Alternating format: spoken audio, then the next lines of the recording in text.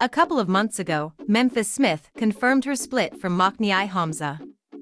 Many 90 Day Fiancé, before the 90 Days fans were crushed by the breakup and wanted to understand why.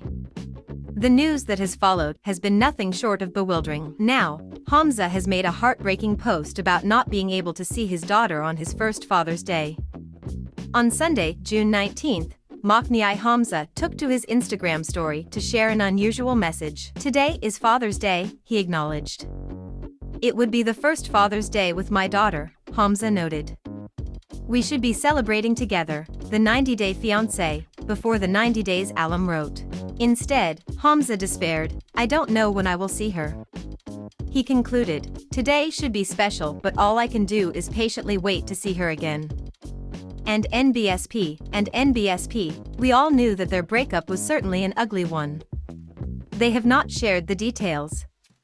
What little we know comes from Hamza's sister, who suggested that Hamza and Memphis were clashing over jealousy issues. Obviously, there must have been much more to this than Memphis dropping off the kids at her ex's house. We do not know what happened to cause this bitter breakup. Memphis and Hamza likely signed NDAs, and almost certainly filmed another season. Meanwhile, Memphis posted a Father's Day tribute of her own over the weekend. There was one familiar, obvious face missing.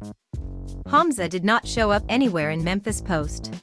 People tend to forget that being a and squo, father goes beyond helping create a child, Memphis wrote.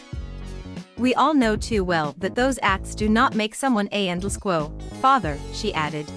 Memphis then affirmed, their actions do. And NBSP, knowing my history, Memphis continued, I learned from an early age that endless quo, blood doesn't mean someone loves you any more or less. She then wrote, that their true love and affection and support and consistency is what matters. A real father will sacrifice their own wants and dreams, Memphis explained.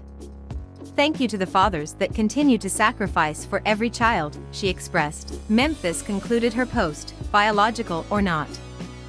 Frankly, it's unclear whether she meant this as shade towards Hamza or a general statement. Possibly and Hell Lip, both? Throughout their season of Before the 90 Days, many vocal viewers were Team Hamza.